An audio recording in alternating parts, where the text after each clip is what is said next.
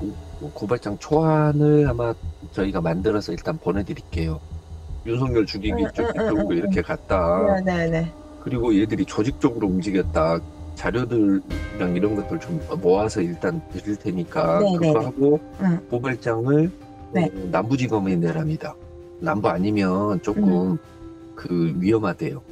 네, 너무 막 편하게 하면 안 되니까 그렇죠. 그래서 약간은 막 어. 받기 싫은데 어쩔 수 없이 받는 것처럼 하고 이런 거 있으면 왜 응. 검찰이 먼저 인지수사 안 하고 응, 어, 왜, 왜 이러느냐 음, 막 이런 식으로 막 응, 하고 응.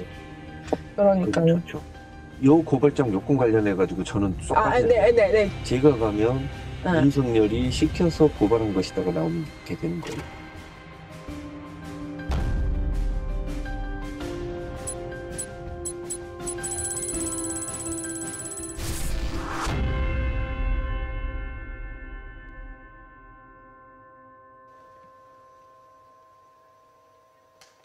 지난해 4월 21대 국회의원 선거를 앞두고 검찰이 야당의 고발을 사주했다는 의혹이 제기됐습니다.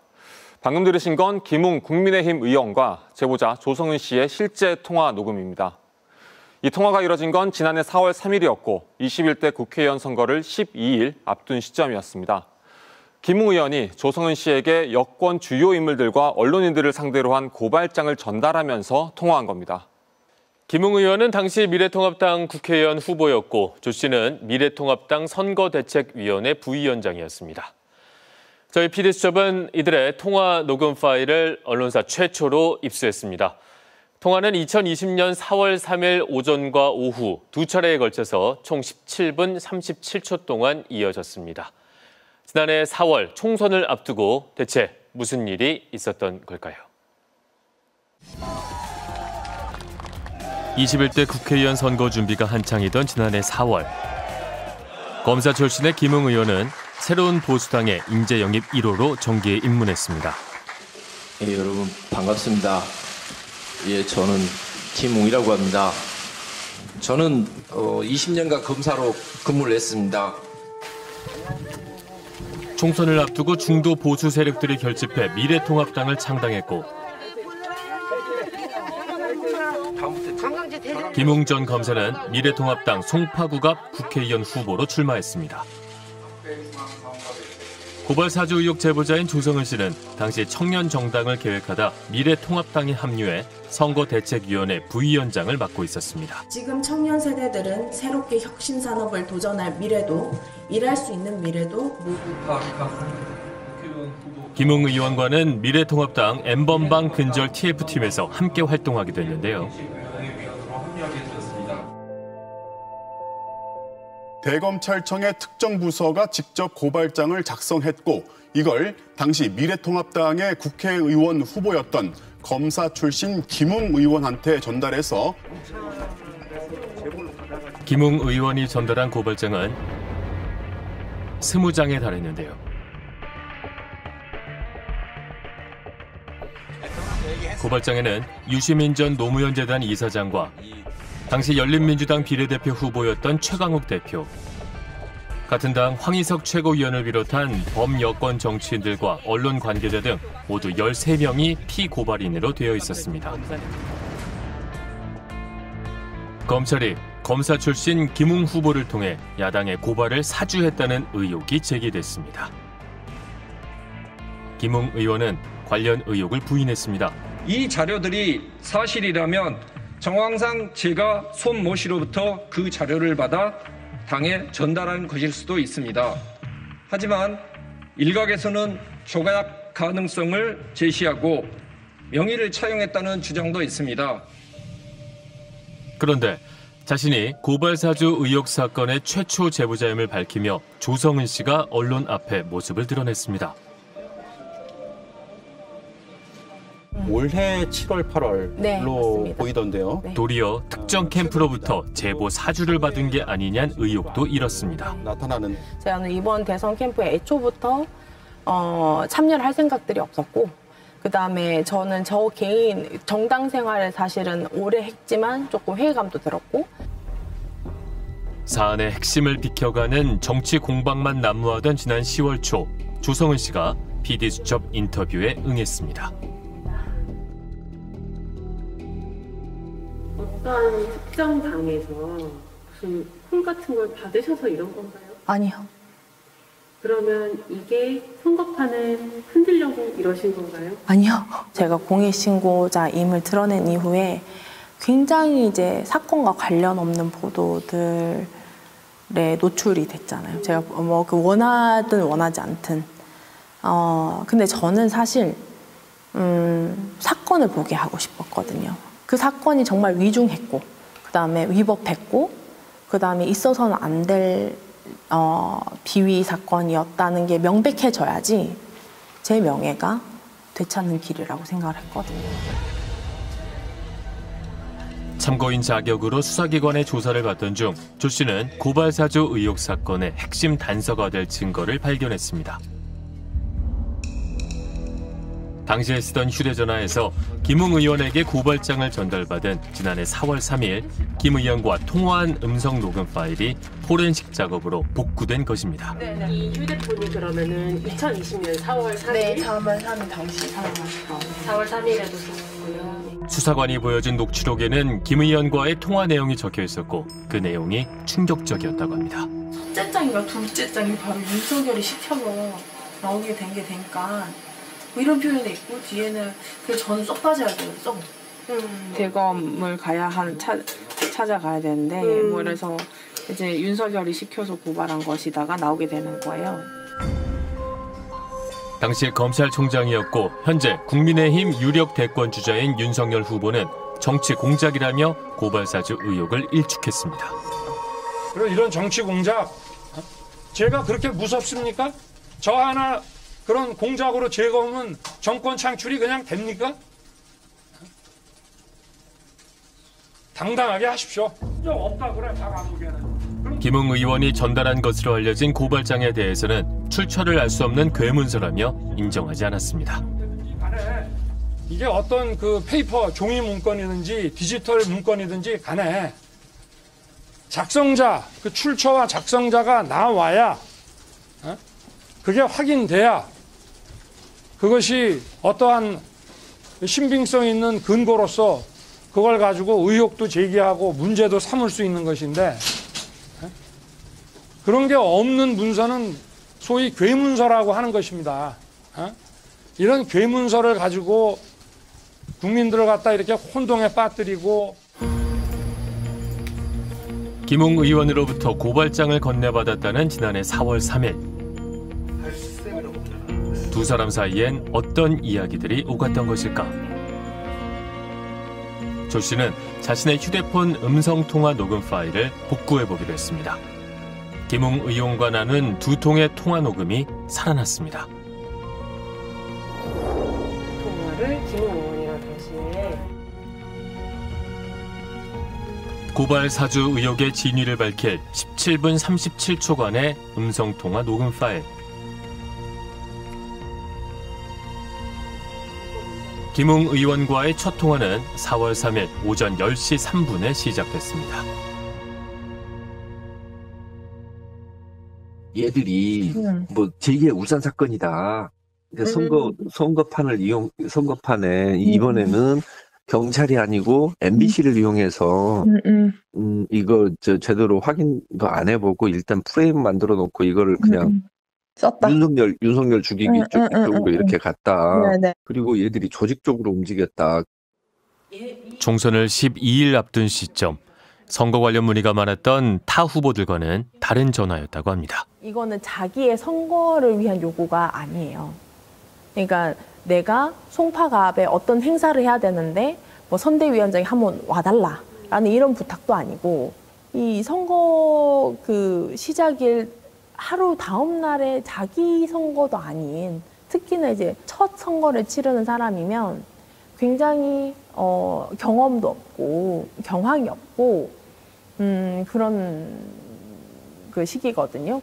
뭐 고발장 초안을 아마 저희가 만들어서 일단 보내드릴게요. 응. 고발장을 네. 어, 남부지검에 내랍니다. 남부 아니면 조금 그 위험하대요. 음, 일단 음. 그거 나오면 드리고 네. 그 그거와 관련된 관련된 거 이렇게 누가 음. 좀쭉 그 뭐 좀 그러니까 뭐 음. 페이스북이랑 이런 올라간 것들을 쭉 얘들이 움- 움직였던 걸 그대로 쭉 해, 해놓은 게 있거든요. 그 네네네. 페이스북에 라고 그 막 글 자주 올리는 친구가 있거든요. 네네. 그, 음. 그, 기장가? 네. 네. 네, 그, 그, 그, 그, 그 친구가 좀, 그, 그 친구 글도 좀 있, 있는데, 그 친구 글을 좀 잘 보시면 될 것 같아요. 어, 놀란 거보다는 좀 황당함. 그리고 이 사람들이 굉장히 이 고발장을, 어, 이 시기 안에 전달을 하려고 굉장히 큰 노력들을 했구나. 그리고 잘못 전달되지 않으려고 굉장히 많은 상의를 하고 심지어 이제 뭐 남부지검에 내랍니다라고 얘기를 하지만 그 뒤에는 또 위험하대요 라는 표현들 살자질하지 않잖아요. 이렇게 작성을 해놨더라고요. 이렇게. 그리고 그날 오후 4시 19분 47분. 네. 그리고 이제 고발장이 있는 거죠. 고발장이. 네. 고발장이 이게 4시 19분. 김웅 의원은 텔레그램 메신저로 20장에 달하는 고발장을 전달했습니다. 고발인란에 이름만 써넣으면 바로 접수가 가능한 형태였습니다. 페이스북 화면 등을 캡처한 160여 장의 사진 파일도 증거 자료라며 보내왔습니다. 고발장에 적시된 범죄 사실에는 범여권 정치인들이 이번 총선에 영향을 줄 목적으로 언론사 관계자들과 공모해 허위 사실을 보도했고 이 보도로 윤석열 당시 검찰총장과 부인 김건희 씨 그리고 윤 총장의 측근으로 알려진 한동훈 검사장의 명예가 훼손됐다는 내용이 담겨 있었습니다.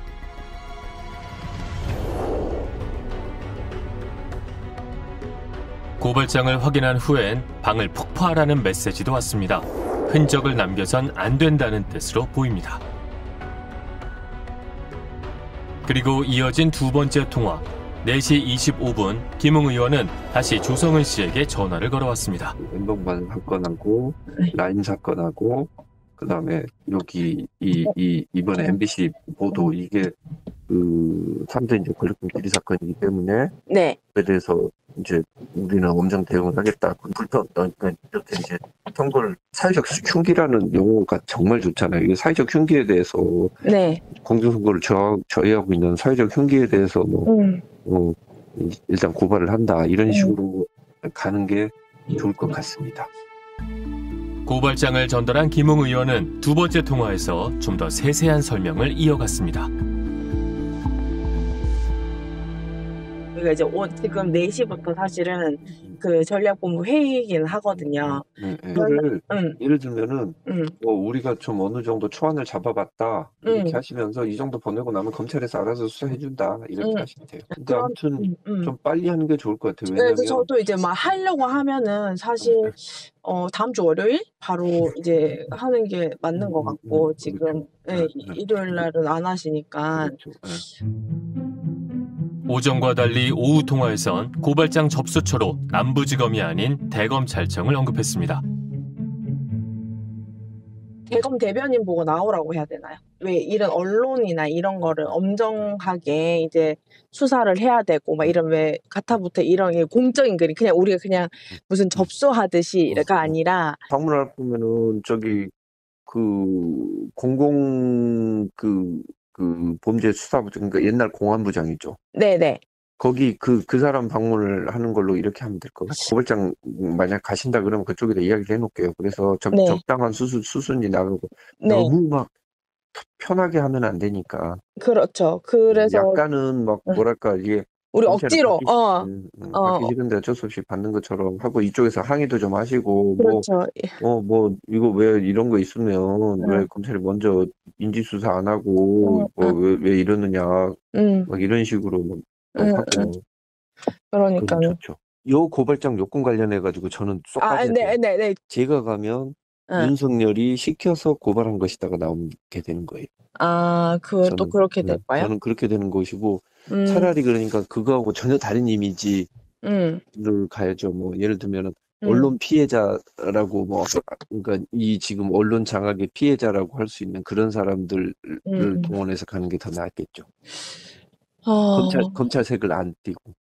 그러니까 그러면 뭐 박형준 위원장님 뭐 네, 그리고 네. 이제 뭐 뭐 김종인 위원장님 뭐 이런 데 안 가실 거고. 네, 네, 네. 그, 거기는 어. 김종인 위원장님은 가시는 게 안 좋을 것 같아요. 네, 그러니까 뭔가 이렇게 퓨어한 느낌이 그렇죠. 좋다 하시는 거잖아요. 네, 그 그거보다 어. 저 저기 뭐 예를 들면은 김지철 의원님 같으신 분은 좋죠. 왜냐하면 어. 이렇게 그 지팡이 짚고 가서 네.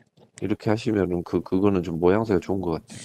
그렇군요. 그분은 뭔가 좀 투사 이미지도 좀 있고, 응, 뭔가 뭔가 음. 공권력 피해자라는 느낌도 좀 오고 지팡이 짚고 가고 이러니까. 김웅 의원은 마치 사전에 계획을 짠 것처럼 고발장 접수 장소와 방법은 물론 밖으로 비춰주는 모양새까지 구체적으로 주문했습니다. 자신이 빠짐으로써 검찰색을 숨기고자 하는 의도도 명백하게 보였고 저는 사실 굉장히 음, 놀랍게 들었던 것이 다른 지점이 아니라 인지수사. 이 인지수사를 왜 하지 않느냐라고 이제 자기가 먼저 얘기를 했던 거예요, 사실은. 그래서 어떻게 보면은 어, 이미 그것까지 다 잘 준비가 되어서 완성된 그러니까 목적과 과정과 이제 접수만 남은 상태의 이 고발장 완성본이 그런 과정 속에서 만들어진 게 아닌가라는 생각이 듭니다. 김용 의원은 고발장을 전달한 사실도 전화 통화를 한 사실도 기억나지 않는다고 항변했습니다. 기억이 안 나는데 기억난다고 거짓말을 해야 되겠습니까? 반대로 한번 이야기를 해볼게요. 제가 기억이 납니다라고 이야기를 하면 여러분은 그거 믿어주시겠습니까? 새벽부터 나와가지고 뛰어다니고 있는 그 상황에서 100페이지가 넘는 것을 검토할 수 있는 시간이 될까요? 정말 기억하지 못하는 것일까? 국정감사가 열리는 국회를 찾아갔습니다. 통화에서 그는 윤석열 당시 검찰총장과 한동훈 검사장의 이름도 언급했습니다. 저희가 통화에서 윤석열 한동훈 이름 언급하는 걸 들었거든요. 사전에 고발장에 대해서 누구한테 설명 들으신 거고요, 의원님? 네네. 10분여를 기다려 다시 물었습니다.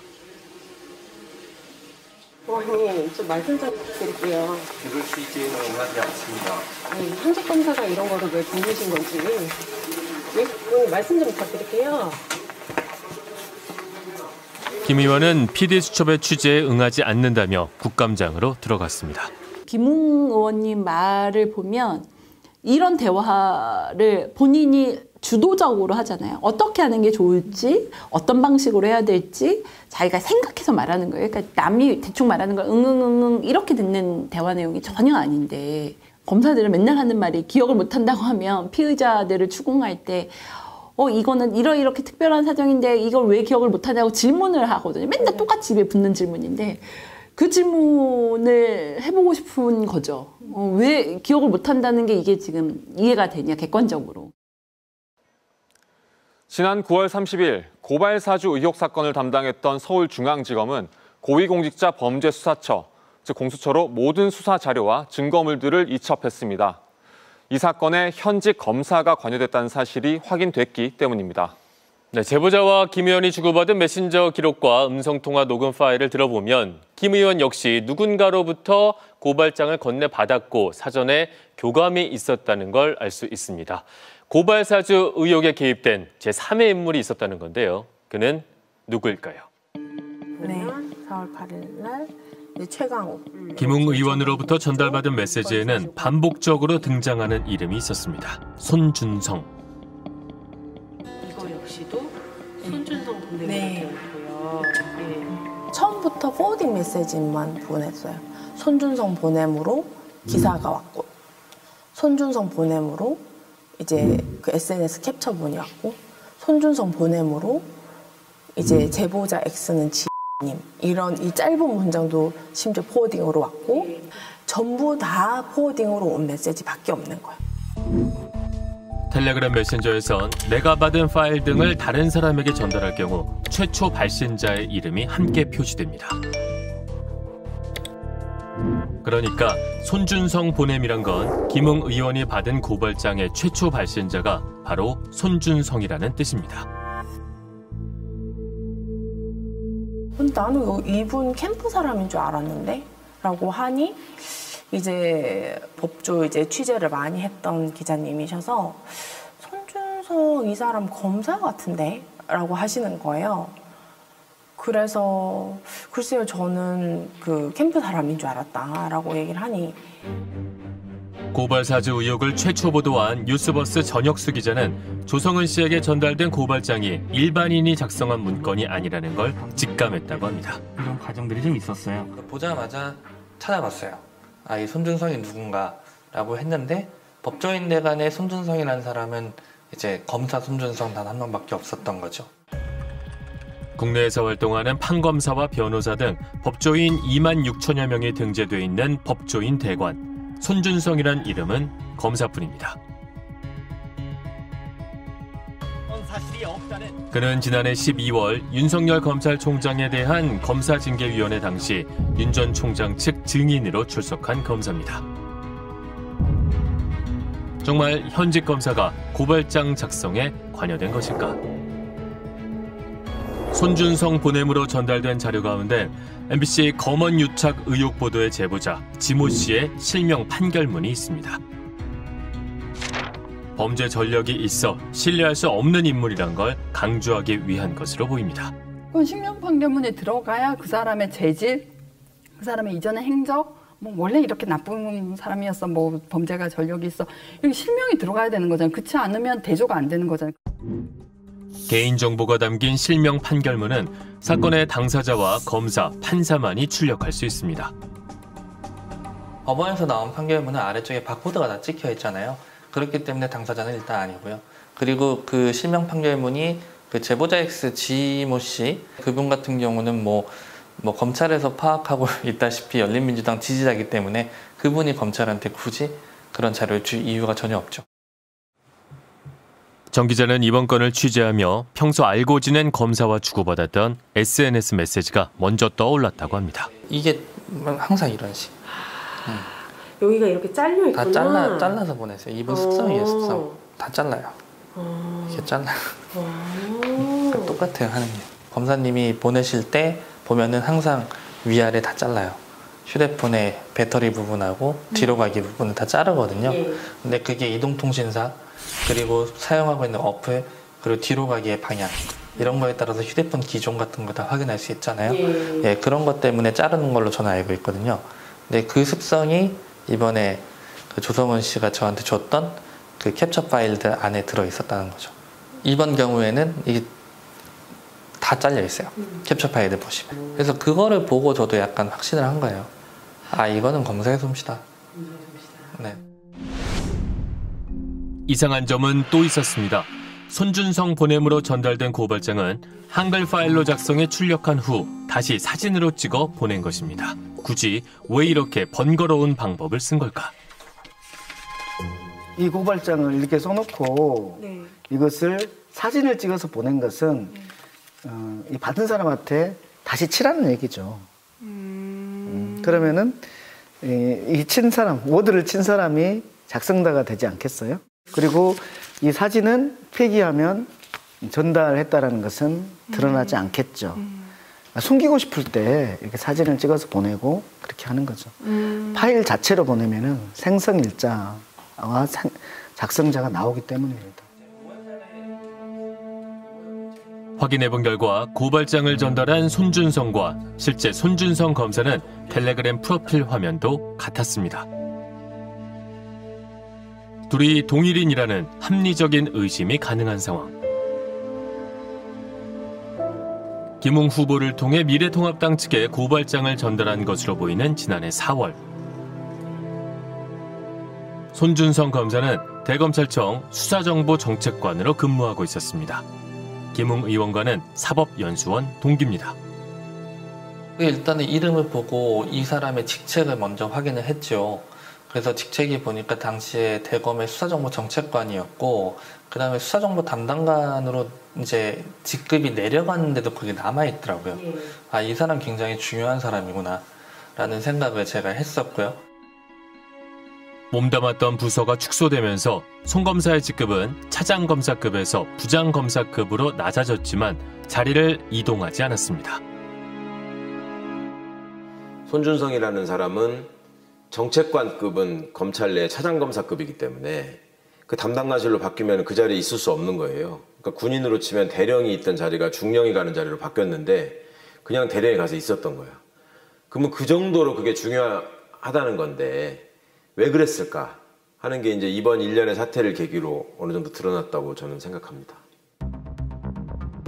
대검 수사정보정책관실은 검찰총장의 눈과 귀 역할을 하는 것으로 총장 직속 기구입니다. 다른 주 같은 경우는 네. 부장, 과, 과장, 부장, 차장 거쳐서 총장한테 보고를 하게 돼요. 예, 예. 근데 이거는 아무도 거치지 않고 총장한테만 직보를 하는 거예요. 수장관실은. 예. 그러니까 그야말로 자기 수적이죠. 검찰총장 직속 기구에서 작성된 총장의 명예훼손 피해에 관한 고발장이 검사 출신 국회의원 후보를 통해 야당으로 전달되고 그 고발장이 다시 대검찰청에 접수하도록 한 겁니다. 공수처가 이번 의혹의 핵심 당사자로 의심받는 손준성 검사와 김웅 의원을 전격 압수수색했습니다. 지난달 10일 고위공직자범죄수사처는 김웅 의원과 손준성 검사의 사무실과 자택을 압수수색했습니다. 현직 검사가 관여된 사실이 확인된 겁니다. 당시 손 검사의 지휘를 받던 수사정보정책관실 소속 성상욱 검사와 이몽석 검사의 사무실도 압수수색에 들어갔습니다.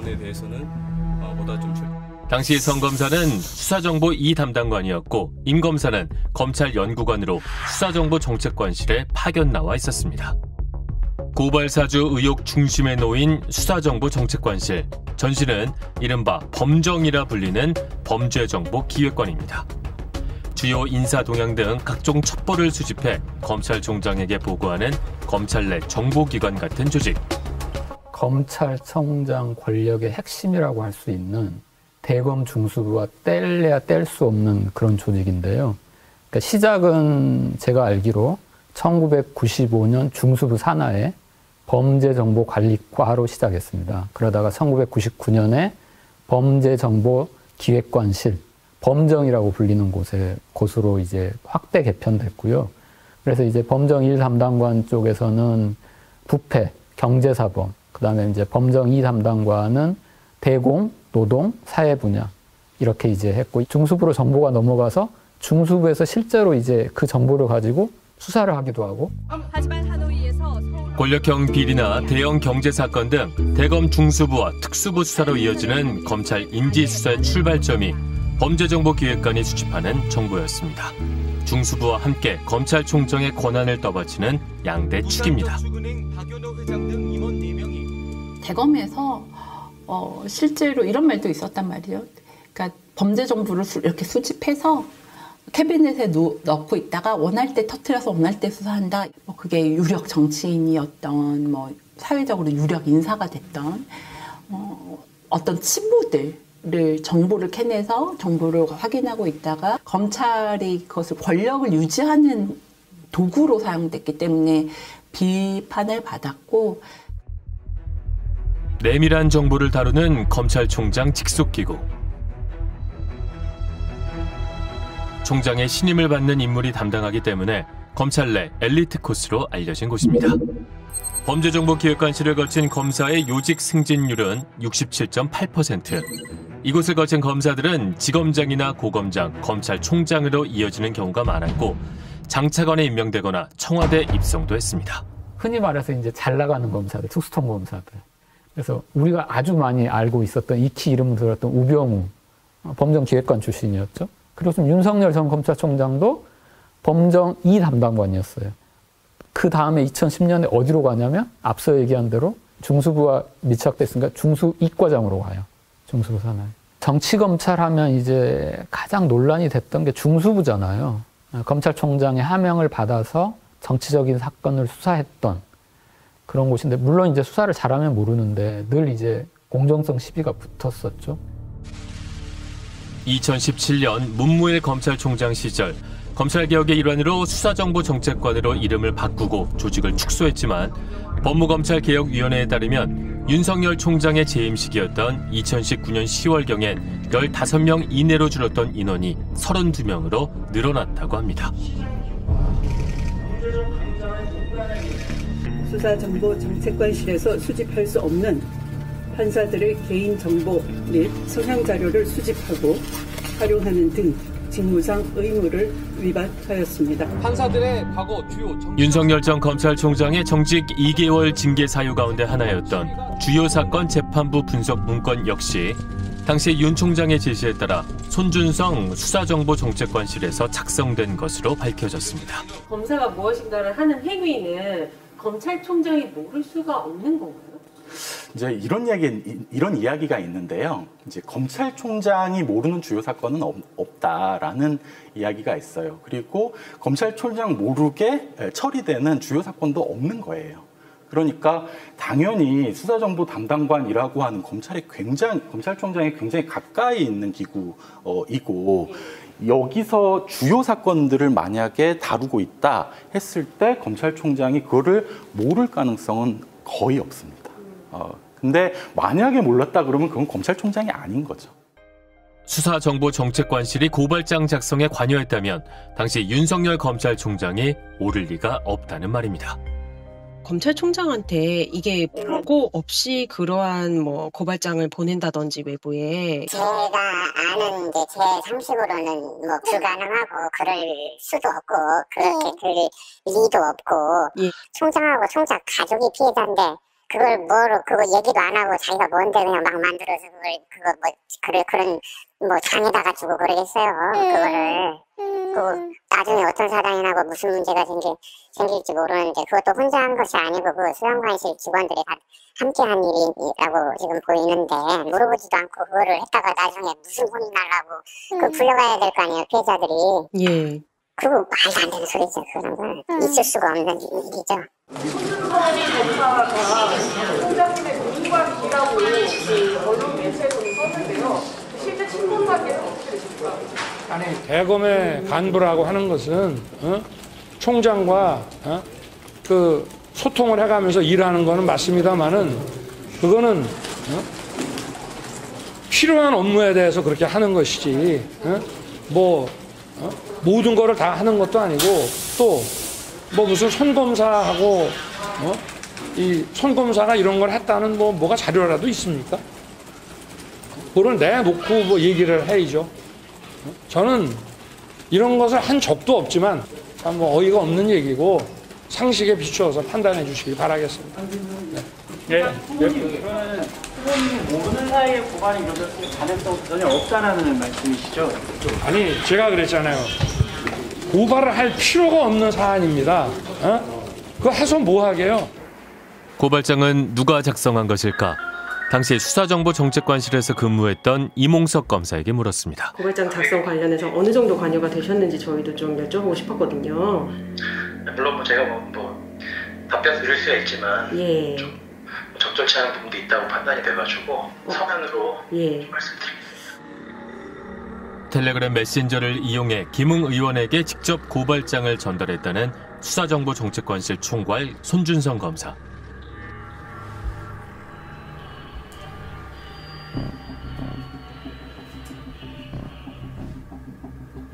고객이 전화를 받지 않아 삐 소리 이후 고발 사주 의혹에 키를 쥐고 있는 송 검사에게 여러 차례 전화하고 문자 메시지를 보냈지만 답은 없었습니다.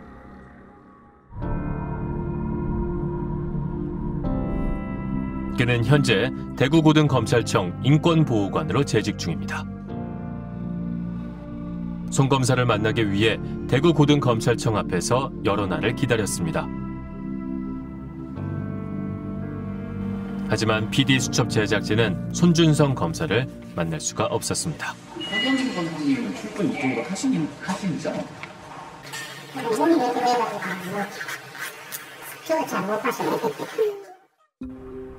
송 검사는 공보 검사를 통해 인터뷰 거절 의사를 밝혀왔고 대검찰청 대변인실은 고발 사주건과 관련해선 현재 수사 중인 사안이므로 답변이 어렵다고 전해왔습니다.